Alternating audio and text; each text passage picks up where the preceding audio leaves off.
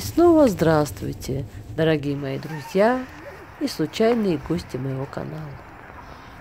Сегодня мы с вами посетим замок Книпхаузен, который расположен в районе Федербарден, города Вильямсхафен в Нижней Саксонии. Он был построен в 1438 году как утверждает Википедия, это типичный образец аристократической резиденции позднего Возрождения.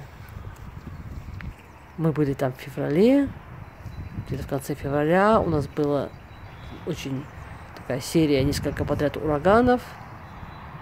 И тут выдался солнечный денек, мы вышли прогуляться, и как раз э, можно видеть последствия урагана, вон поваленные деревья, поваленные, поломанные, и на территории замка в парке.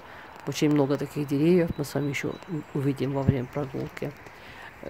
Видео с ураганами, с последствиями ураганов у меня есть на канале.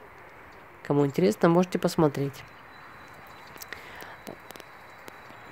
Так вот, э, замок Книпхаузен, по-немецки Бург Книпхаузен, был построен в 1338 году на берегу реки Мааден вот мы проходим через арку к замку, и здесь на стене висит краткая как бы история, основные вехи этого замка.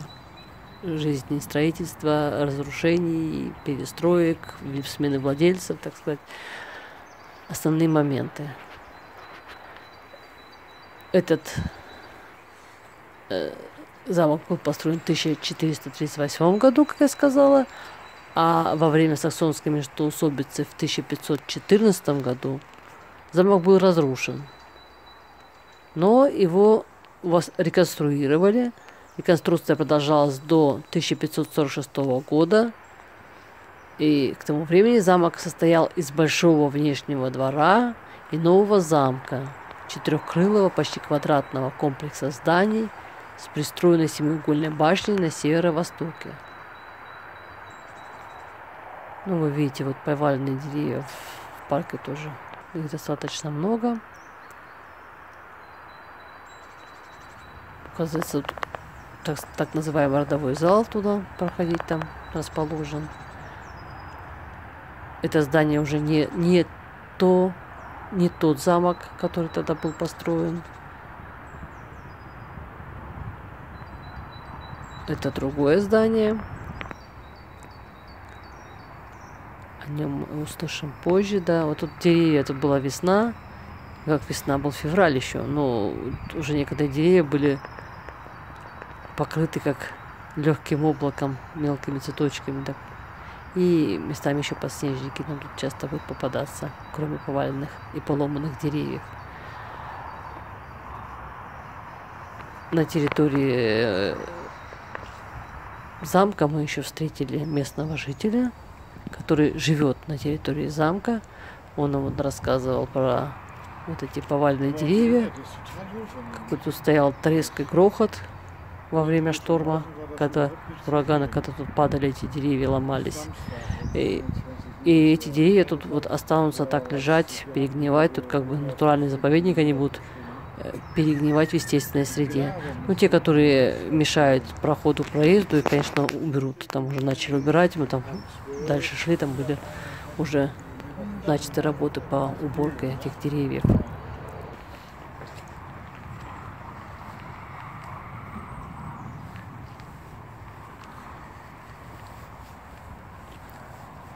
И, как сказал местный житель этот, еще вот, ну и можно было заметить хорошо, что направление ветра во время урагана как бы было не в сторону замка, и деревья падали как бы в другом направлении. Потому что если бы было немного другое направление ветра, то такие огромные деревья могли разрушить замок. Во всяком случае, причинить ему очень много разрушений. Как бы замку повезло, пострадал только парк.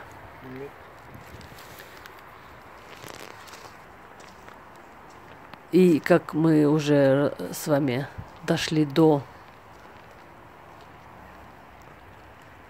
1546 года, когда был замок восстановлен после разрушения, Но после этого так случилось, что владелец замка во время там междуусобиц, интриг и войн потерял свой замок.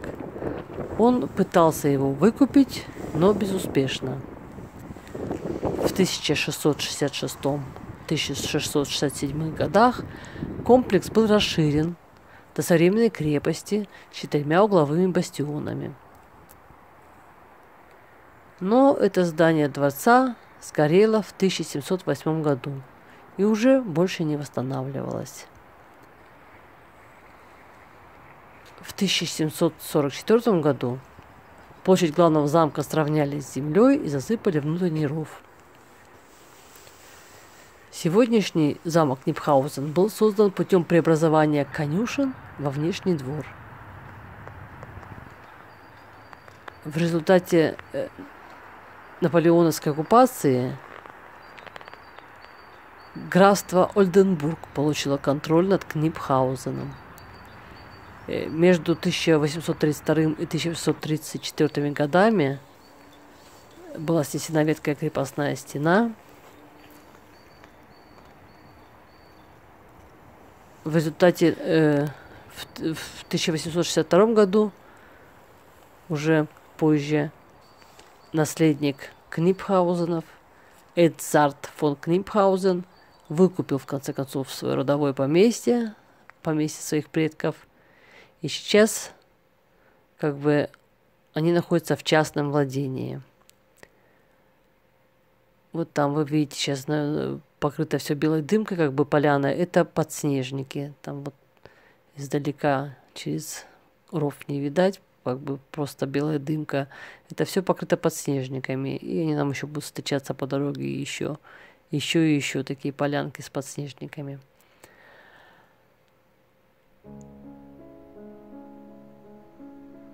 на, на территории сейчас, внеш... Э, на территории замка, вот это, на территории замка здание существует только на, во внешнем дворе. Средняя сторожка 16 века, двухэтажный бывший королевской конюшни второй половины 16 века с восьмиугольной лестничной башней и двумя конюшнями. В 1990 году Замок был полностью реконструирован. Как я уже сказала, замок расположен в районе города Вильямсхафен. Вот здесь раньше, кстати, была тюрьма, висит табличка.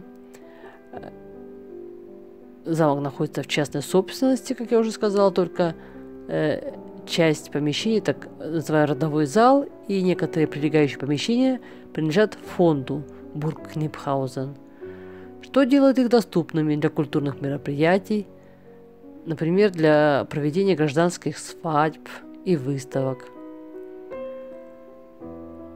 Можно также посетить замковую таверну и парк. Вот вы видите очередное поваленное дерево. Можете посмотреть на размеры корневой системы для сравнения. Кстати, это дерево чуть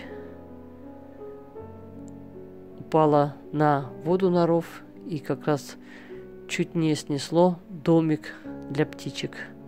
Для водоплавающих птичек тут домики стоят. Вот оно как раз под деревом находится, но оно тоже уцелело.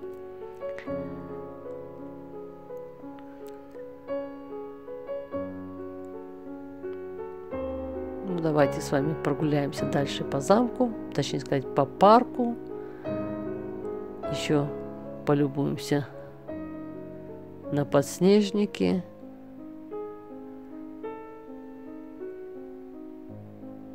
На парк. Как сказать, полюбуемся на повальные деревья, полюбуемся или поужасаемся, что может творить природа –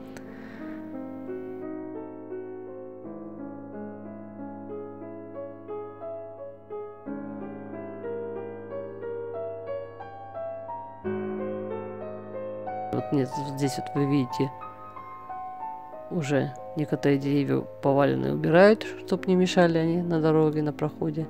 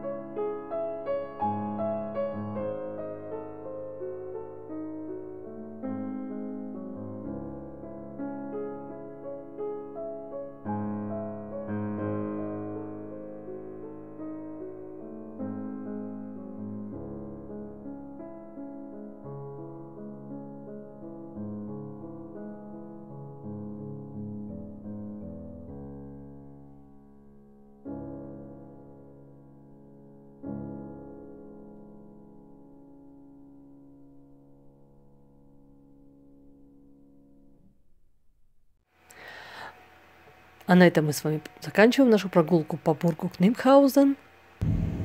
И прощаемся до следующей встречи у меня на канале. Всем мира, добра и прекрасных солнечных весенних дней. Пока-пока!